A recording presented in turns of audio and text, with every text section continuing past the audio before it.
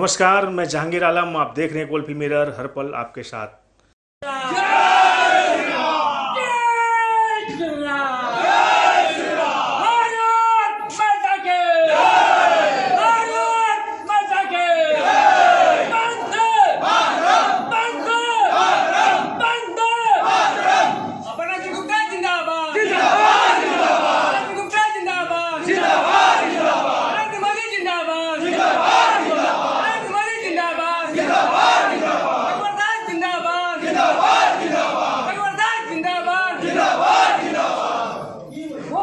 सबसे पहले तो बीजेपी को हम और तमाम हमारे राष्ट्रीय नेतृत्व को हम प्रणाम बधाई देते हैं।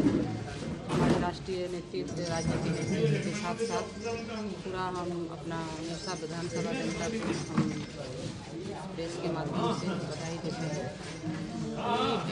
भारतीय जनता पार्टी ने जिस तरह से विश्वास के साथ हमें अपर्णा सेनगुप्ता को टिकट दिया हुआ है। तो ये अपर्णा सेनगुप्ता कुछ नहीं है। हम लोग का ये भारतीय जनता पार्टी का मान सम्मान का बात है। मिर्सा विधानसभा का मान सम्मान का बात है। आज हमें संकल्प लेना होगा कि रिकॉर्ड वोट से ये निरसा विधानसभा का जीत हो, ये हमें संकल्प लेना है। और ये देखने को मिल रहा है, पूरा निरसा विधानसभा का जनता खुशी के माहौल में ये भी बोल रहे हैं कि हम लोग रिकॉर्ड वोट वोट से हम लोग निरसा विधानसभा का जीत हमारे माननीय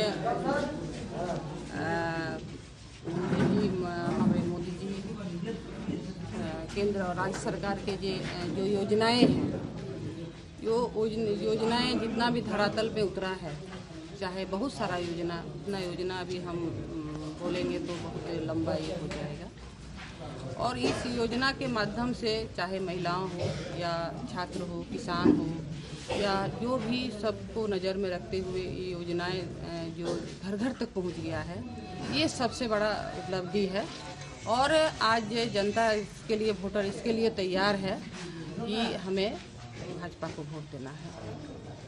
ये तो है लेकिन उसके बीच में बहुत सारा केंद्रीय मतलब राष्ट्रीय जो हुआ धारा तीन सौ सत्तर हुआ पैंतीस ए हुआ साथ ही साथ अभी जो अयोध्या। का जो ये हुआ राम मंदिर का हुआ ये सब बहुत बड़ा उपलब्धि है केंद्र सरकार के और हमारे इस- और राज्य सरकार के हमारे माननीय सीएम साहब भी बहुत योजनाओं हमने केंद्र और राज्य का डबल इंजन का जो सरकार, जो योजनाएँ जनता तक मिला है, ये जनता और वोटर बहुत खुश है।